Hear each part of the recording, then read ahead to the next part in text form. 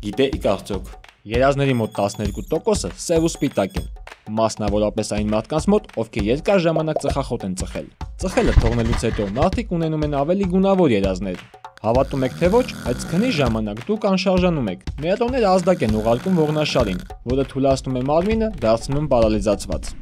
Արթնանալուց 5 րոպե հետո երազի կեսը մոռացվում է։ 10 րոպե հետո մոռացվում է արդեն 90%-ը։ Մենք երազ ենք տեսնում այն ամենի մասին, ինչ գիտենք։ Երբեմն մեր երազները լի են անծանոթներով։ Դրանք իրական մարդիկ են, որոնց տեսել ենք մեր կյանքում։ Ուղղակի չենք ճանաչում եւ չենք հիշում։ Երազները նրա մասին չեն, ինչ տեսնում ենք։ Նրանք ունեն խորը սիմվոլիկ լեզու։ Միտքը փորձում է համեմատել ձեր երազը այլ բաների հետ։ Արտաքին ազնագները նույնպես ներխուժում են երազներ։ Երբ դուք իրականում ծառավ եք, ձեր միտքը այդ զգացողությունը միավորում է ձեր երազի հետ։ Կարող եք երազի մեջ մեծ բաժակով ջուր խմել, բայց դա իհարկե չի օգնում իրական ծառավը հագեցնելու։